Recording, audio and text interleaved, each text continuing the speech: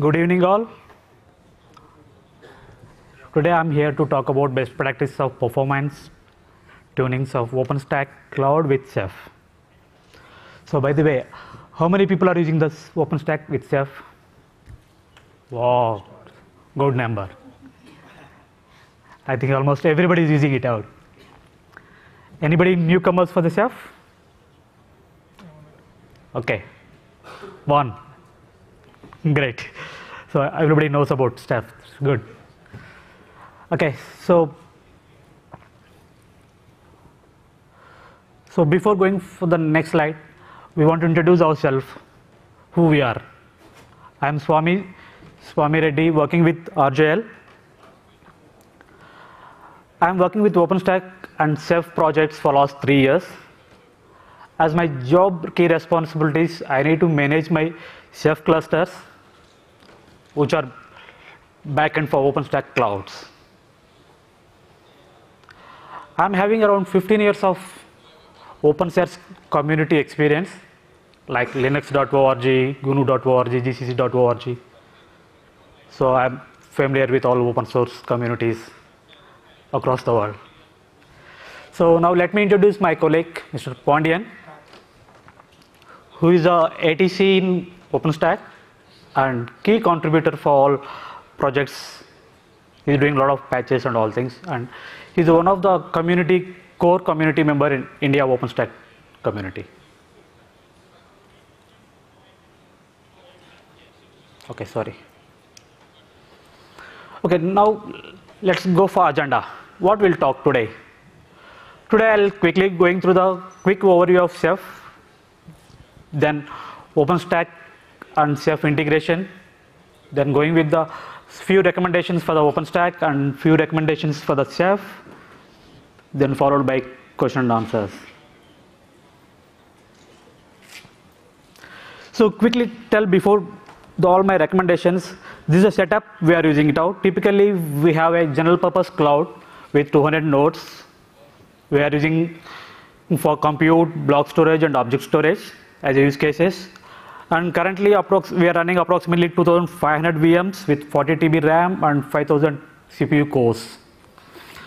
Everything is with a raw Ceph storage with 4 petabytes. On the average, we are using for 20 GB Linux volumes as a boot volumes and 200 GB Windows volumes. Sorry, 100 GB. So on the average, we are having the data volumes for 200 GB for both VMs, as well Linux as well as the Windows. So below are the so below are the compute and storage configuration. Just glance it out. These are all compute configuration. This is the storage configuration. Sorry. No, no, no.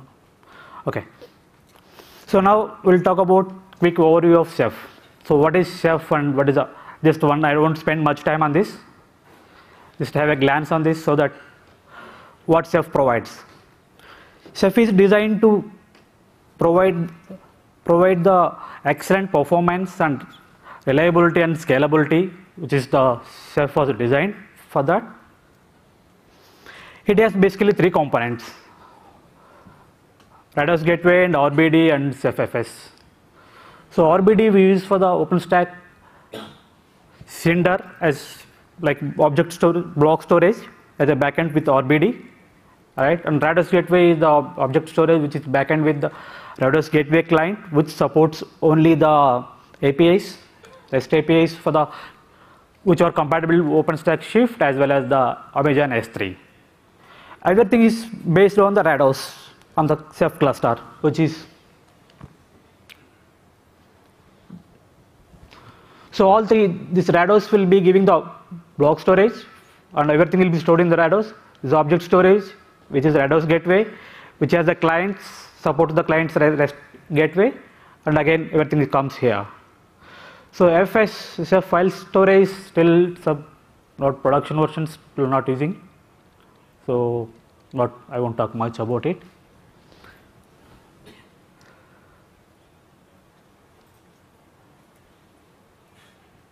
Sorry. I'm just confused with this.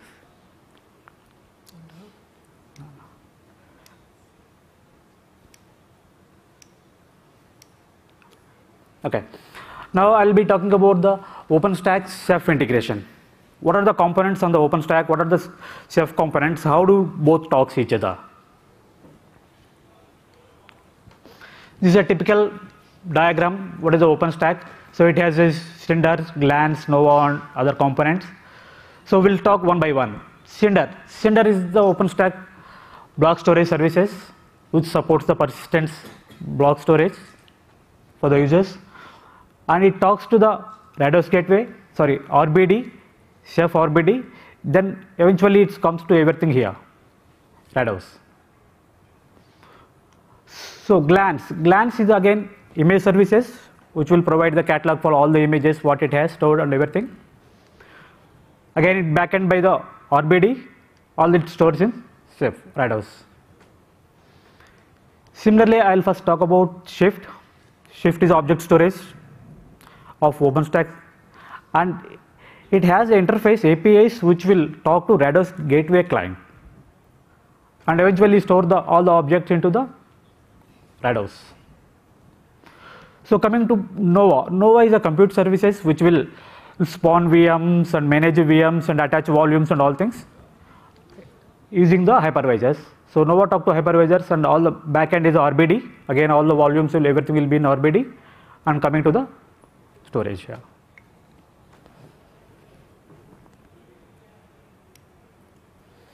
So here is a typical flow for the block storage and object storage. So first block block storage if we go here the OpenStack Nova will be there it will talk to the libvirt right. So libvirt configuration will say that how to talk and what is the my RBD and all things. It will come to the QEMU and from the libvirt from the librBD, from librados, this is the lower part where the OSDs and everything will be available, mons, OSDs and everything will be available.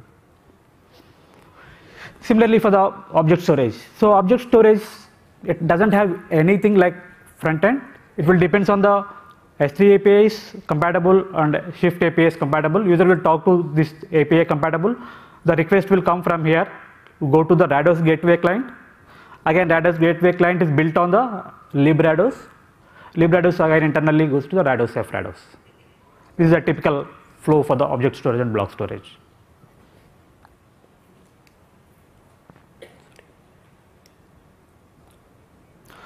So now I am going to talk about the few recommendations for the Ceph to get the best performance or the tunings. But these are all the recommendations based on my experience and what we have done. So again, it depends on the use case. It's not one-to-one -one mapping of all the use cases, whatever we are using now.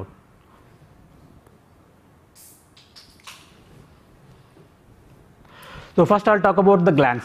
So what is glance? We just discussed about glance. Glance is a OpenStack image services, right? It provides the all the images and the catalog available for the images.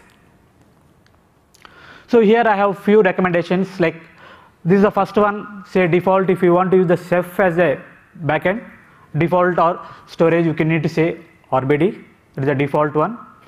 Second one disable local caches.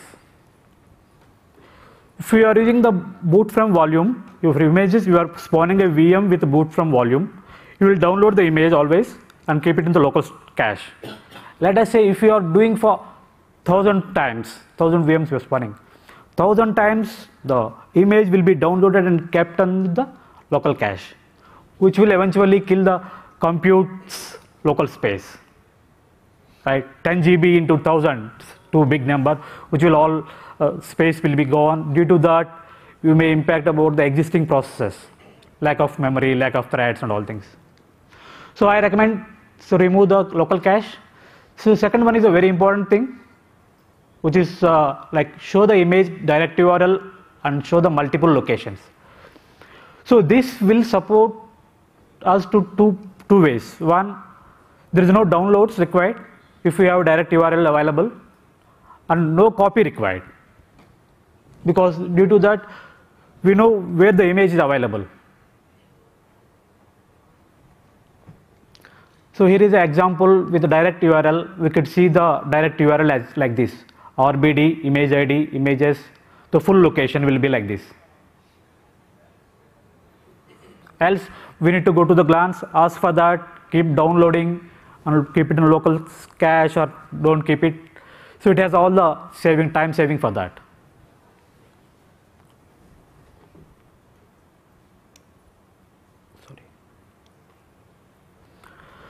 For the glance with Ceph, always I recommend use the raw images because Ceph internally supports raw images only. This helps to save the conversion time. So here, here are the sample test results what we have ran it out.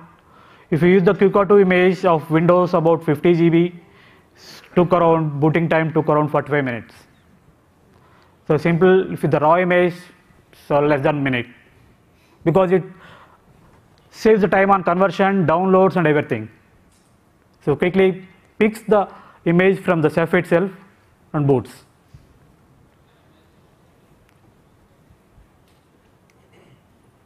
Okay, so now we'll, I'll talk about the Cinder recommendations.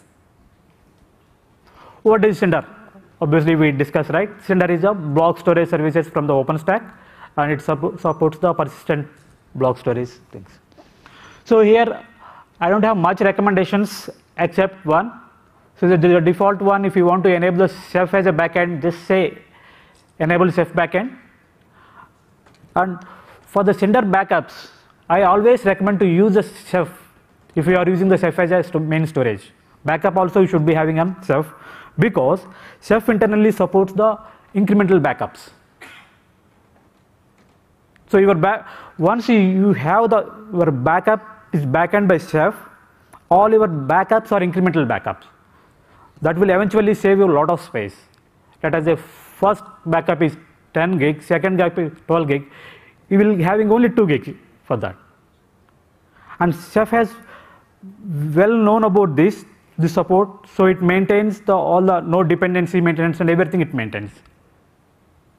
So this is a strong recommendation if you are going for the Cinder backups and with the Ceph as your main storage, it is recommended to go with the Cinder backup. This, this is a default configuration, nothing much, but I recommend this to go as to have the incremental backup to get a lot of space savings. So coming to the Nova, Nova I don't have much recommendations except this is a default configuration to configure things and I recommend to use the librados instead of KRBD. So librados will link with the libvirt configuration where we need to say enable cache that will give a read IOPS more, read performance will be more.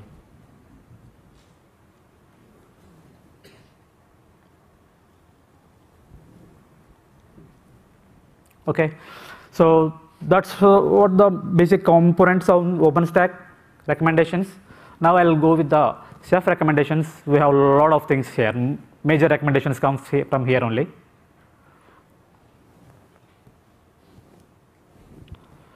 Okay, before going for the recommendations, what is we need to answer the decision factors, right? Use cases.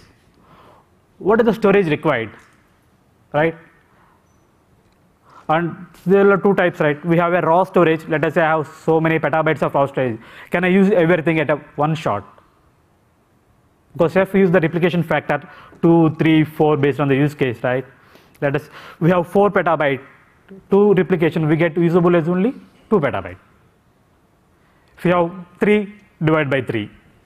So this is the again required depends on the use case, depends on the right requirements.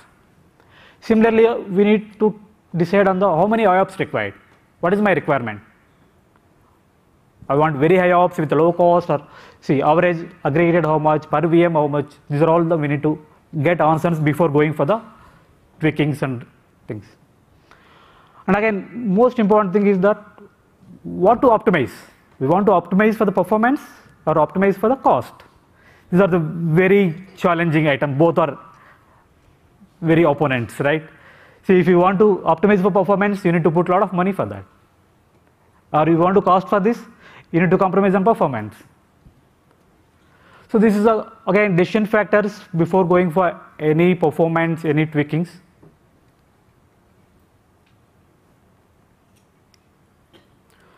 So here is a quick performance optimization criteria. So I could simply, this a table is a self-explanatory, just glance it out. So what is IOPS? So low cost, high cost and throughput is what is optimized and capacity, what is the cost per TB, these are the examples, this I have given the examples.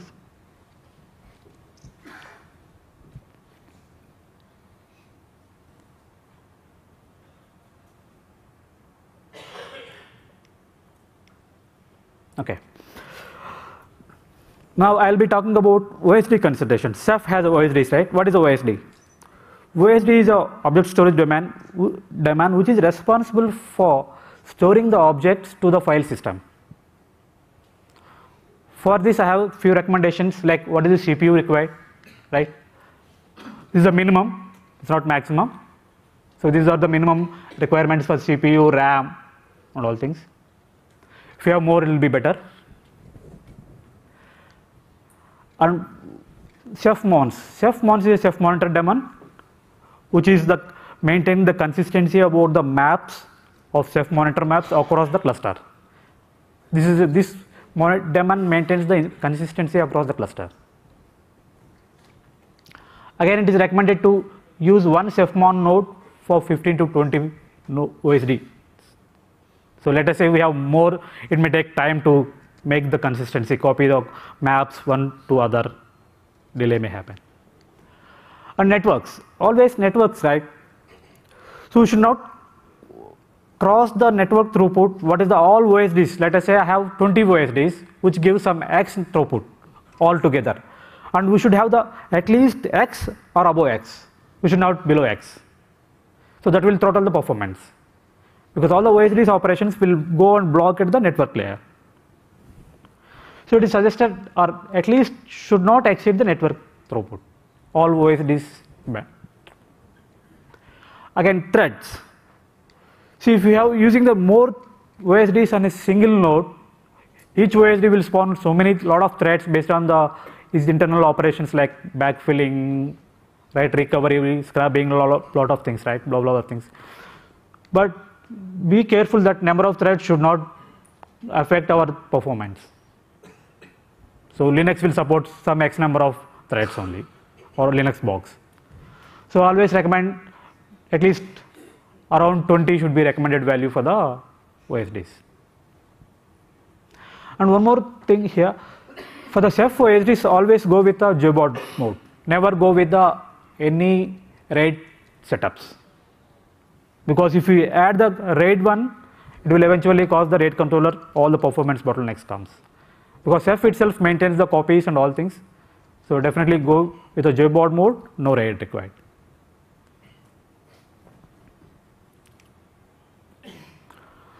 So now I'll be talking about Ceph so OSD journaling. So what is journaling purpose? Why people use the journaling? So basically general use it for getting the speed and consistency. Right?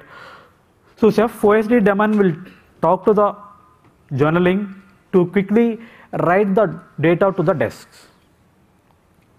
Quick operations. And consistency how it comes.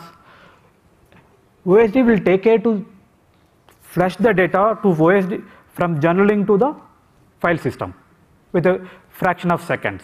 During that time, it won't do any write operations or read operations, but it flash the data to the file system. So these two operations, OSD will help, the OSD journaling will help us to get the performance. Again, we have multiple types of journalings. On disk journaling, or use the separate hard disk as a journaling, or we can use the SSD journalings.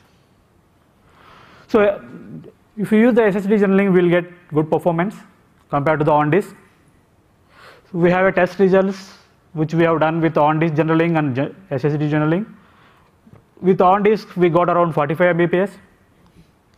For SSD we got almost double.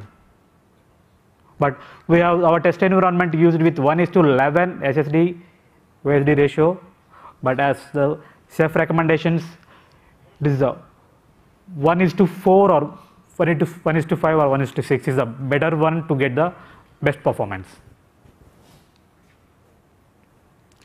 So same results we have done for the other things, sequential writes and uh, random reads, sequential reads and random reads, these are the results for this. So operating system considerations. If you have a Ceph nodes or the Ceph, what are the operating system tweaks we want to set it out? I just is all you can just glance it out. Nothing is all self-explanatory. CPU tuning, IO scheduling, disable NUMOS, swappiness, right? Kernel put the maximum kernel things, enable the bias with the HD and VT. But these are all the not default things, but these are all required to improve the performance from the OS side.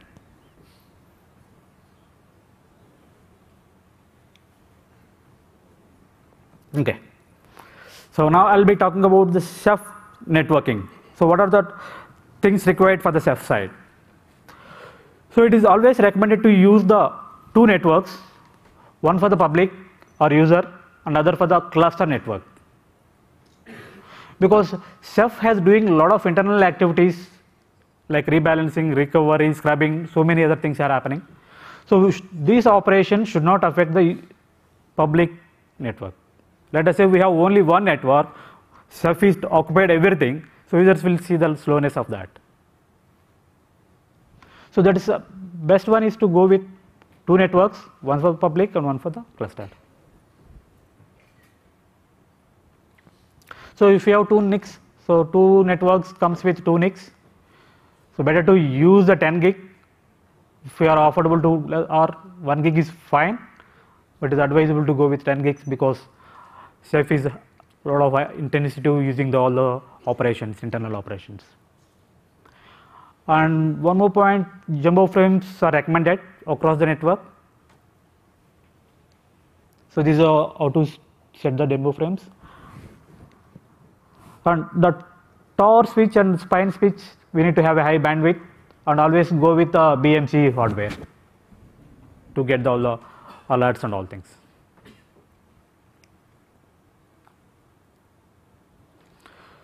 So in our environment, we have done the NIC bonding.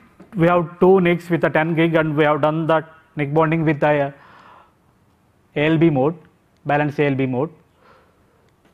So this is a before NIC bonding, we got around, this is speed average 5 Gbps. Now after doing the NIC bonding, we got almost 9 or 8.x Gbps. So I recommend to use the NIC bonding wherever possible to achieve the good performance. Okay. So now I'll be going for the uh, failure domains. What is a failure domain? A failure domain always says that something fails, we cannot access our data. That is a failure domain. Ceph supports, these are the failure domains, starting with OSD, host, chassis, rack, ROP, PDU, POD and all things but there is a info right. So if you have something cost added for the isolation of data, if we go with the failure domain as a host, we should have that many hosts to support our environment. Again, similarly, if you have chassis, rack, again it will cost added for the cluster. For example, if you want to go for the rack, we should have minimum three racks or two racks as per the replication count. So I recommend based on this right, you select the chassis or the rack for the failure domain, for the data durability and data availability.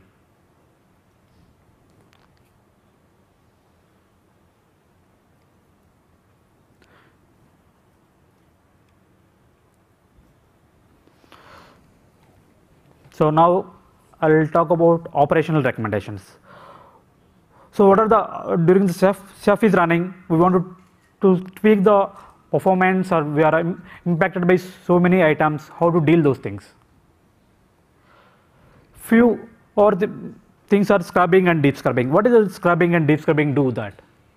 Scrubbing and deep scrubbing is a mechanism to do maintain the data integrity across the Ceph cluster. Scrubbing is simple light scrubbing. It will just check the object size as well as the attributes are fine. It won't do not more than that. But deep scrubbing will read every data and checks it, checksum, everything is fine. So this deep scrubbing will takes a lot of CPU cycles and impact the performance of the existing cluster. So we have these are the options how to disable, enable the things. So once we disable, Ceph will go, health will go on state, and again we can enable like this. So this, this deep scrubbing Ceph supports few options like we will enable, enable the scrubbing begin and end times. So let us say normally we have the operation, so non-peak times, users will be there in the 8 to 8 or something like that. So in that time, we'll stop the scrubbing. Ceph won't do anything scrubbing backend. So we'll set timings, when it start, when it begins. So what is the threshold levels? And similarly for the deep scrubbing, these are the my intervals. Like deep scrubbing, I can set it to two weeks once per PG. So that after two weeks only, it will again read all the objects and check it out. If it is everything perfect, then do that.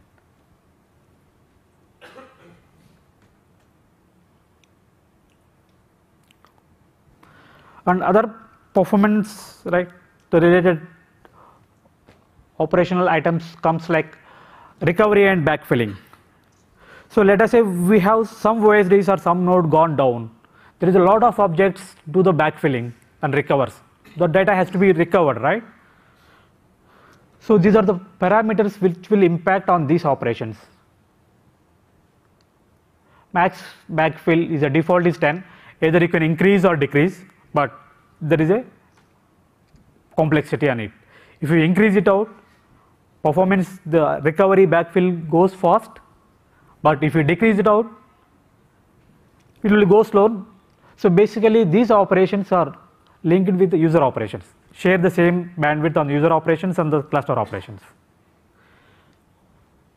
So these numbers we need to tweak very carefully during the what time we can do and when we don't want to do these things and these are all things we can dynamically tweak nothing to restart nothing to do anything else this Ceph commands tell we can inject the things dynamically and we can change that. But before these are the very carefully taken. That may impact your user operations. If you increase impacts the user operations. If you decrease definitely it takes recovery takes long time.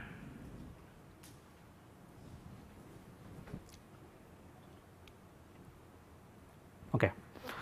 So finally, I have the few guidelines for the performance tuning. So always change one option at a time. Never play with two options at the same time and we don't know what's happening with other things.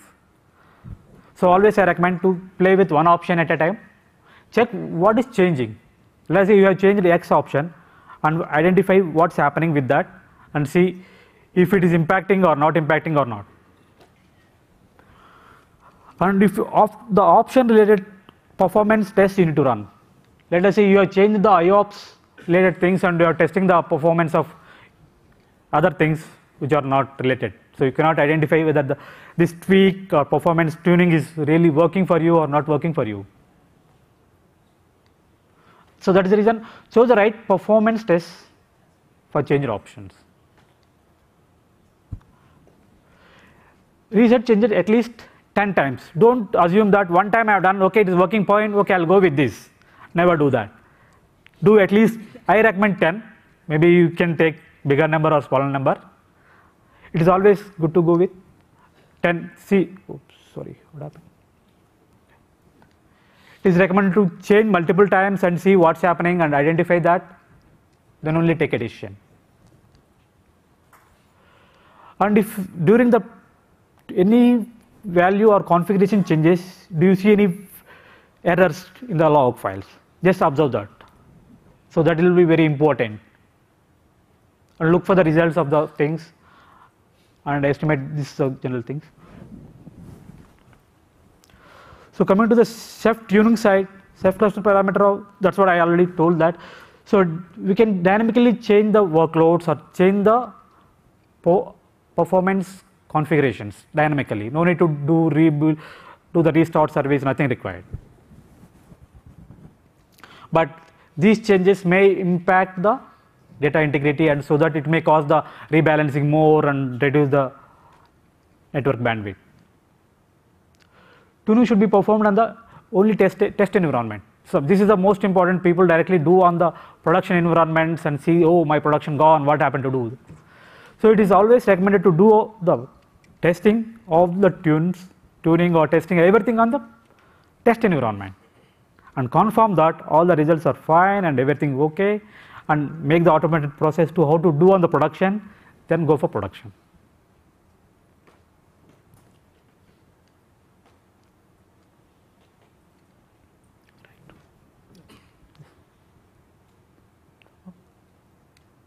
Okay. So now time for question and answers.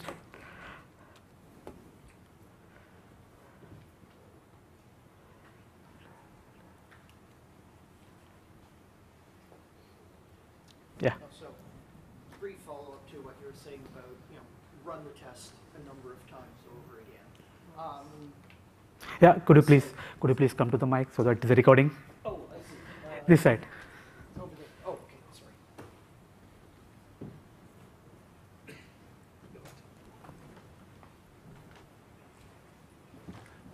So as a brief follow-up to the uh, statement about the testing and make sure that it's done a number of times, um, I have worked with you know disk testing in the past, and there is actually a um, group called SNIA which deals with being able to measure uh, performance metrics on disks.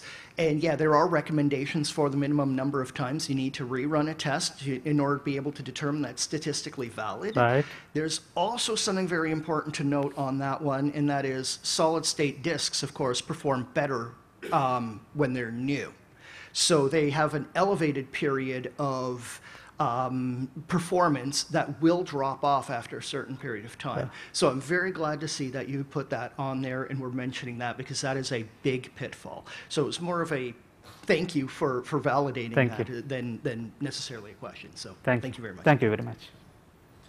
Hey, very good talk. Just a quick question. So one of your slides mentioned that it's highly recommended to have hyperthreading enabled. So why is that? Did you do any benchmarks comparing Ceph performance with and without hyperthreading, or what's the motivation there?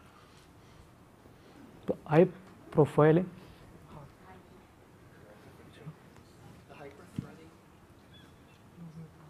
So one of the slides further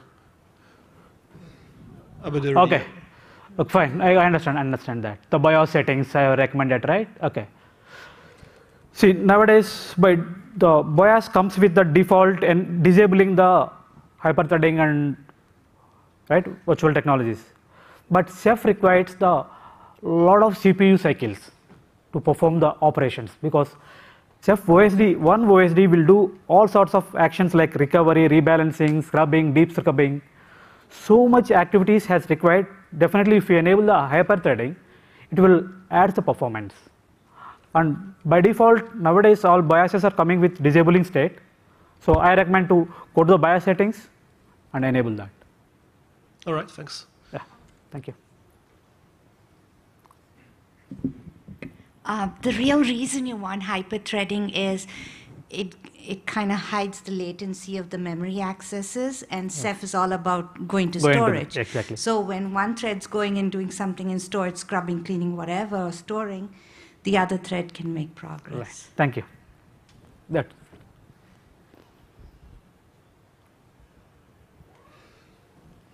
We have left four minutes left. Any more?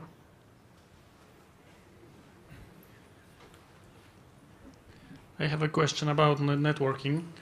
Uh, this uh, cluster networking should be separated physically or should be uh, uh, another VLAN? Uh, do you have any test results about this difference? I don't have at the moment, but it is recommended to go with physical if you have the infrastructure supports because going for physical is almost cost, right? We should have all TORs and we have routers and everything. But worst case, we can go separated with the VLAN, it should be okay. Okay, because we have uh, one network and we observe uh, packet drops on our switch, and I'm thinking about uh, separate this network physically to another switch, and I don't know if it w- if I uh, see any difference or not.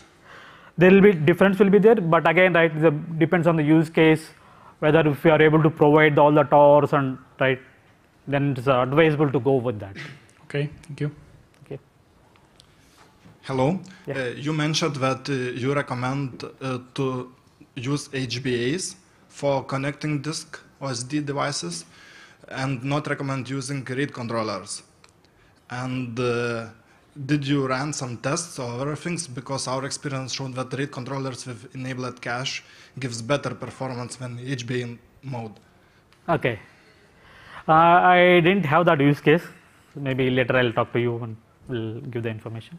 Okay. Thank you. So last minute.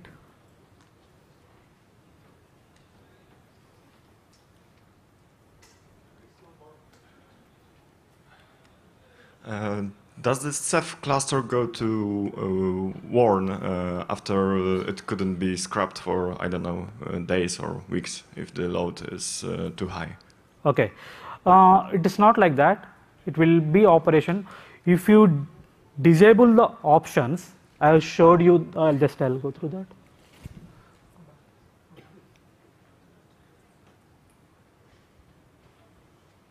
Okay. So if we disable the options, then it will go on warn state. So this is what I have disabled here. If you unset the scrub option, then it will go on warn state but due to the high load it is not complete in the scrub it won't go further. because eventually it will try to do that right so your health will be okay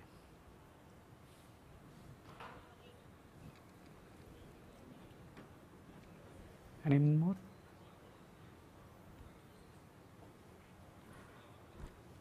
thank you. Thank you very much for the patience your time. Thank you very much